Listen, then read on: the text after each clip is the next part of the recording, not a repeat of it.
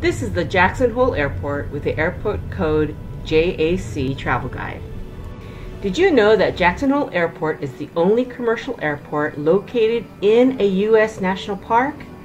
This small domestic airport is located at the base of the Teton Mountain Range within Grand Teton National Park in Wyoming. This airport is a gateway to Grand Teton, Yellowstone National Parks, and the city of Jackson Hole.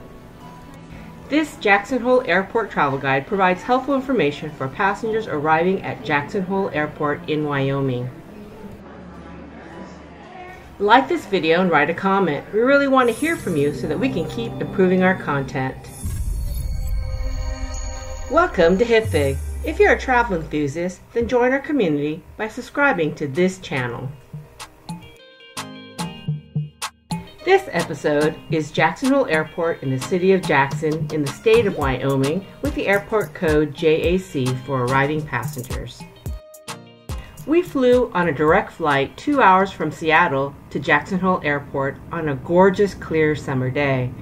As we got close to landing, we could see the towering peaks of the Teton Mountains. Because the airport's runway's elevation is 6,451 feet and surrounded by large mountains, this mountain airport is subject to frequently changing weather, which means a little bit of turbulence. Jackson Hole Airport is located at 1250 East Airport Road at the southern end of the Grand Teton National Park. All current direct flight routes are domestic flights in the United States, but it's rapidly adding flights and carriers, so that can change any time since JAC, although a compact airport, is busy due to its proximity to Grand Teton and Yellowstone National Parks, the city of Jackson, and the many outdoor activities that are available here. It was so amazing landing at Jackson Hole Airport in the midst of the Grand Teton mountain range, just breathtaking. Here's a little bit of Jackson Hole Airport trivia. Did you know that you cannot stay overnight at the airport? The airport closes at 11 p.m. and opens at 4 a.m. because Jackson Hole Airport is located inside Grand Teton National Park and overnight stays are not allowed because it's considered camping in an undesignated area by the National Park Service. Once we landed at the airport, we saw many private planes. This airport in particular is known for its private jets for the rich and famous. Once the plane parked, it was time to exit the plane by an outside ramp. Jackson Hole Airport is currently one large one-story building with plans for expansion in the future. And once you get off the ramp, you can't miss it.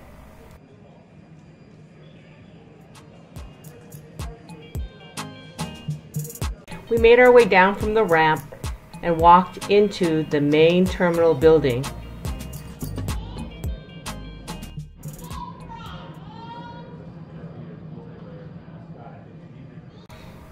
As we made our way down to the doors of the main terminal building, we could see a large JH sign, like an iron brand on the wall, and a large elk antler arch to greet us.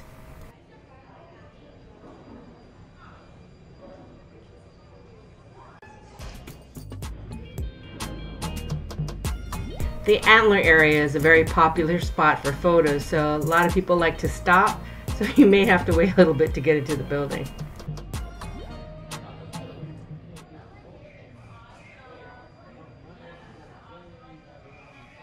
Once you enter into the building, you arrive at the arrival hall next to baggage claim.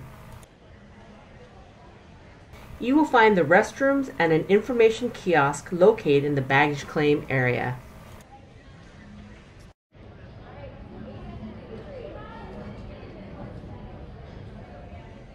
Need bear spray?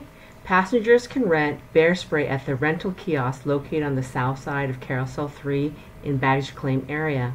Rent a can of bear spray for your trip and return it before you leave. You'll also find an information booth at the end of the baggage claim area. Once we picked up our bags, we walked to the end of the terminal to the rental car counter to pick up our rental car. Alamo, National, Avis, Budget, and Enterprise are located in the airport terminal. Dollar, Thrifty, and Hertz are located off the airport in the town of Jackson. Dollar, Thrifty, and Hertz offer complimentary shuttles. Just exit the terminal and cross the street to the center ground transportation island. The rental car shuttles are located in the north end of the island and marked with a brown sign labeled Rental Car Shuttles. If you have time, take a look around Jackson Hole Airport. There is an extensive public art collection and the terminal won an award from the American Institute of Architects. Once we exited the terminal, we crossed the crosswalk to the center ground transportation island.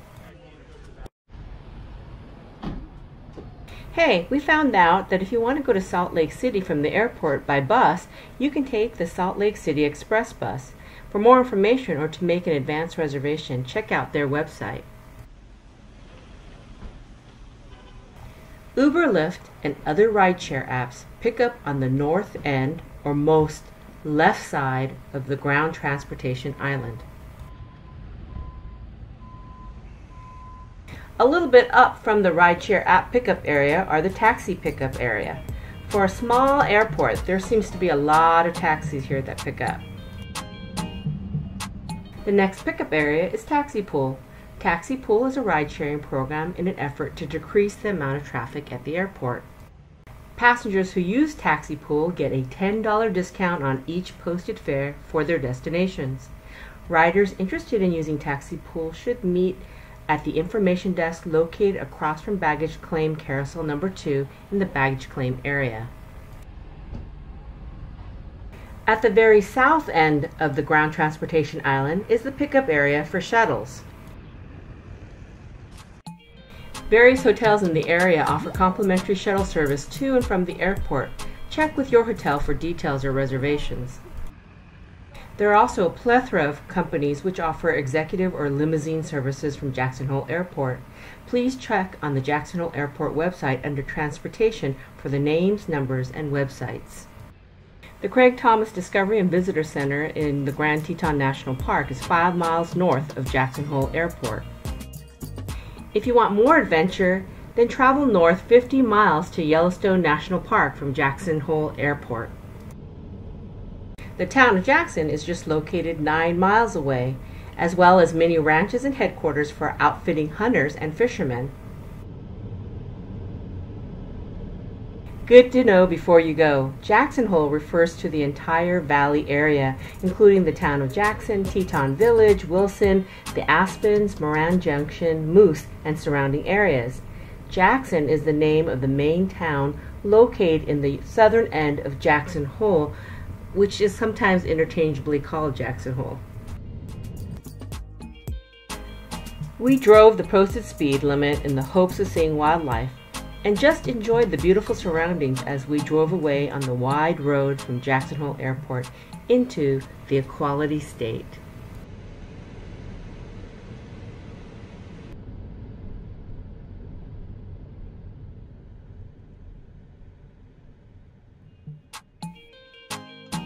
Happy travels! Go to hipfig.com for more information or go to our HipFig travel channel on YouTube and be sure to subscribe for regular updates.